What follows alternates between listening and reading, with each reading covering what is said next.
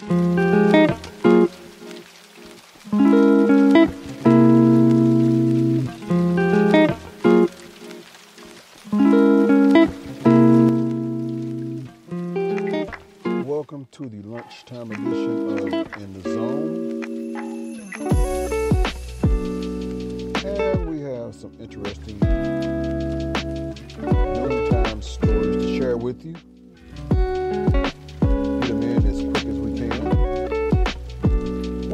of interest a particular coach lost his watch,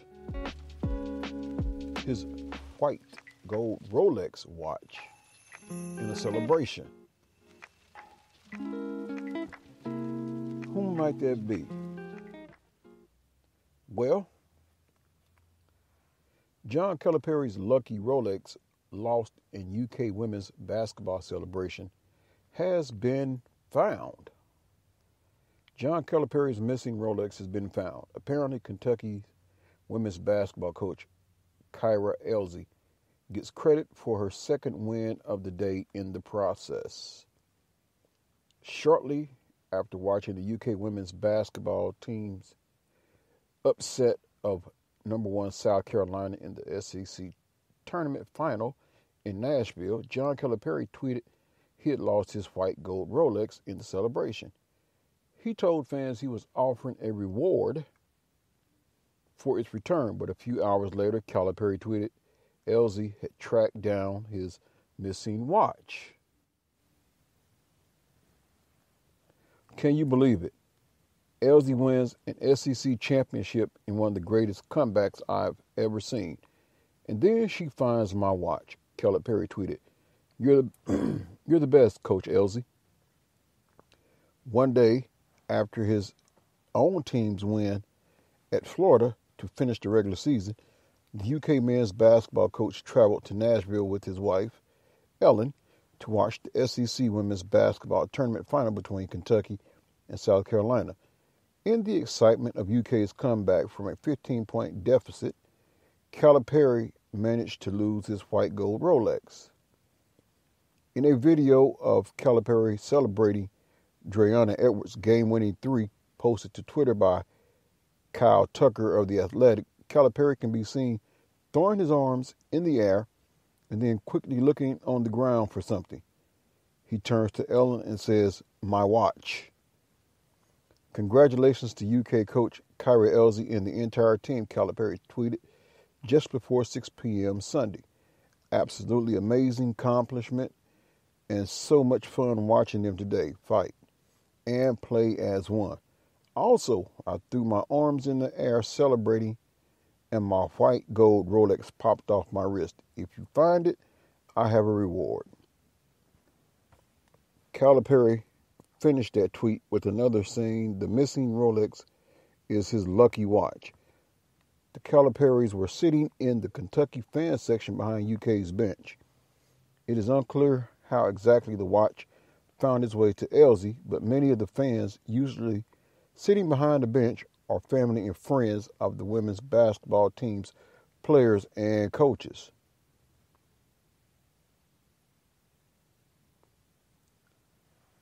So that there is one story of interest. So let's move on to another one.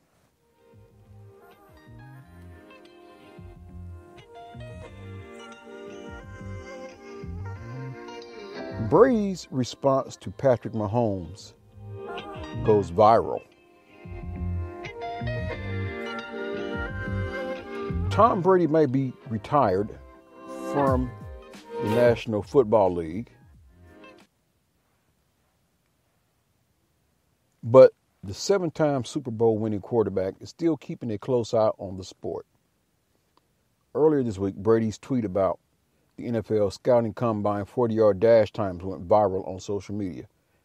Brady responded to a tweet from Kansas City Chiefs quarterback Patrick Mahomes, who was used, used in a clip by the NFL network. Brady, of course, ran an even slower 40 yard dash time at his NFL scouting combine back in 2000.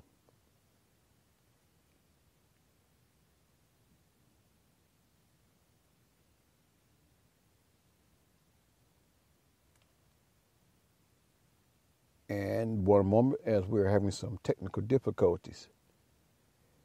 One of the tweets, Patrick Mahomes, eh, Patrick Mahomes, y'all didn't have to put me in that group getting left like that.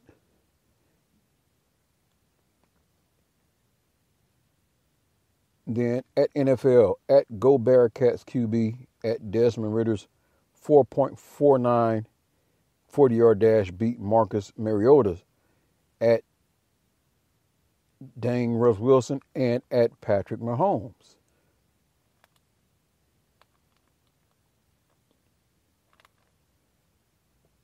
And evidently, some of this was in regards to the young man that just like 6'5, 348 pounds, just with that 4.8 40 yard time, caught everybody's attention. So, yes, yeah, some of the guys who's 40 times he beat are some of the guys that are like, well, let's just say, pretty much legends, so to speak. There will be more on that story, but how about this one right here? Commenting on WNBA star Brittney Griner, Secretary of State Antony Blinken says U.S. ready to give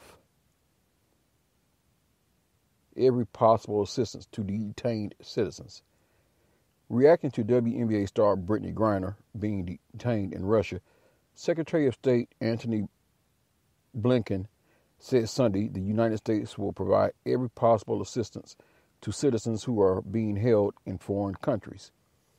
There's only so much I can say given the privacy considerations at this point, Blinken said of Griner. Whenever an American is detained anywhere in the world, we of course stand ready to provide every possible assistance, and that includes in Russia. We have an embassy team that's working on the cases of other Americans who are detained in Russia, he added. We're doing everything we can to see it that their rights are upheld and respected. Blinken made his remarks at a joint news conference with Moldova President Maia Sandu. Griner is being detained in Russia after customs officials said they found hashish oil in her luggage at an airport near Moscow in February. Like many WNBA players, Griner has long played overseas in the winter months, most recently in Russia. The State Department issued a do not travel advisory for Russia on January 23rd that warned Americans against traveling to Russia because of the potential for harassment against U.S. citizens. The embassy's limited ability to assist U.S. citizens in Russia, COVID 19 and related entry restrictions, terrorism, harassment by Russian government security officials, and the arbitrary enforcement of local law. Another do not travel advisory was issued Saturday, nine days after Russia began its military invasion of Ukraine. The 31 year old Griner has played nine seasons with the Phoenix Mercury, who lost in the WNBA Finals in October to the Chicago Sky. She won a championship with the Mercury in 2014 and gold medals with the United States at the Olympics in 2016 and 2021. So, right now, the best we can do is pray for the safety of those Americans being detained, and especially that of Brittney Griner. Hopefully, she gets to come back home and continue her professional career over here in the United States. Well, that's going to do it for this lunchtime edition of In the Zone. There will be more to come. Eventually, I will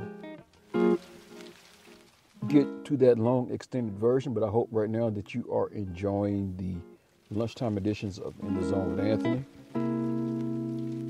So feel free to download these episodes, share these episodes Give me some feedback. I would greatly appreciate it. Until the next time, always stay locked in the zone and be blessed. This is yours truly, Anthony Smith, signing out.